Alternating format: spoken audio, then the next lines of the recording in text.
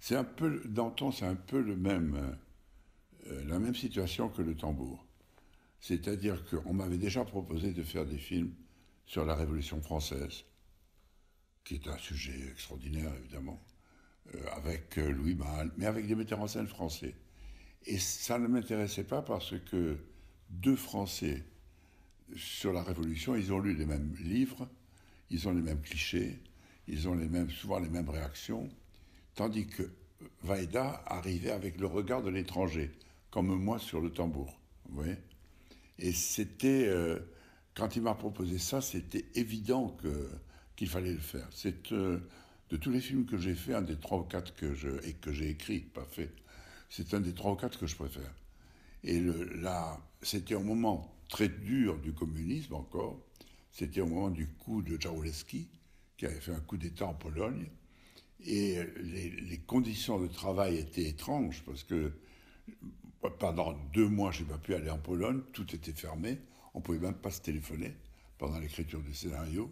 Puis après, on a fait différents voyages, etc.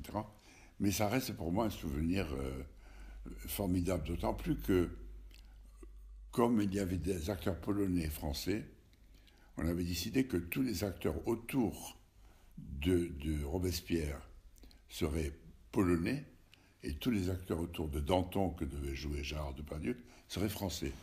Il y avait Patrice Chéron en particulier.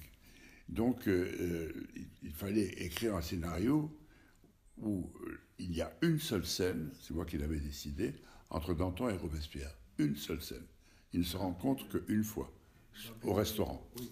Et c'est une scène qui dure 15 minutes, mais, mais c'est le seul moment. Et c'était très difficile parce que l'acteur polonais ne comprenait pas le français. Ah. Alors on a répété avec les deux acteurs et, et, Vaida et son chef opérateur dans l'appartement de Vaida à Paris pendant plusieurs week-ends avant d'arriver à trouver le rythme de la scène et, tout ce qui se passait dedans. Mais c'est une scène que je trouve euh, épatante. Et de même la scène de la fin, quand euh, au, cours de son procès, euh, Danton perd la voix. ça c'est historique. Il a vraiment perdu la voix. Beaucoup de gens ont été convaincus que Depardieu joue, avait perdu la voix. Non, il le joue. Mais il le joue très très bien. Et c'est un plan aussi très. Il y a un plan très long de 8 minutes avec tous les figurants qu'on avait mis en place, que euh, a tourné. Et à la fin de ce premier plan, s'est passé une chose que j'ai rarement vue au cinéma. Tous les figurants ont applaudi, Gérard.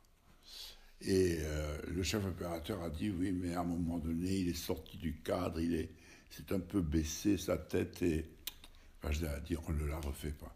C'est celle-là la bonne. Et on l'a tourné qu'une fois. Mais il, est, il était formidable dedans.